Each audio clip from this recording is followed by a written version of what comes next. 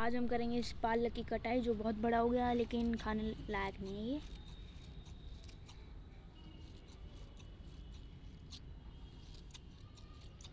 ऐसा करने से भी ये जल्दी उगेगा, जल्दी बड़ा होगा।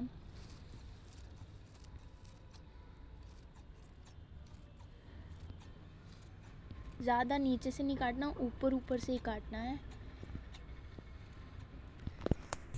ऐसे कटिंग करने से जल्दी बड़ी होंगी और खाने के लिए जल्दी जल्दी बनती रहेंगी फिर ये।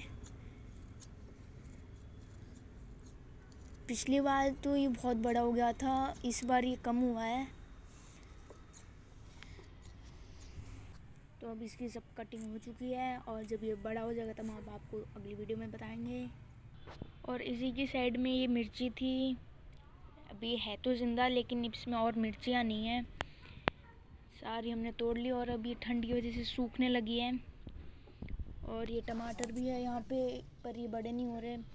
ये गेंदा अपने आप उग गया। और ये मैंने थोड़े से प्याज उगा रखे थे यहाँ पे। कमेंट में ज़रूर बताइएगा इनको और क्या दे कि ये नीचे सब प्याज बन जाए। और एक ये आलू भी अपने आप उग गया यहाँ पे। सारी सब्ज़ी मंडी से बन गई, गए तो इसमें सब। और दूसरे पा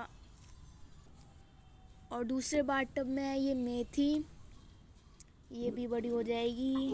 और यहाँ पे चने, जो बहुत टेस्टी हैं, और इनमें भी फूल आने लग गए मतलब छोलिया भी बनेगा। हम वो भी दिखाएँगे आपको अगली वीडियो में। और एक बात पूछनी थी मेरे को, ये जो है, ये करेला है, इसको ठंड में ज़िंदा रखने के लिए हम क्या करें? ताकि अगले साल हमें और उगाना ना पड़े, क्योंकि ऑलरेडी हरा भरा है, लेकिन अब ठंड की वजह से सूखता जा रहा है ये। और अभी के लिए इतना ही। वीडियो अच्छी लगी हो तो लाइक एंड सब्सक्राइब मत करना, मत भूलना।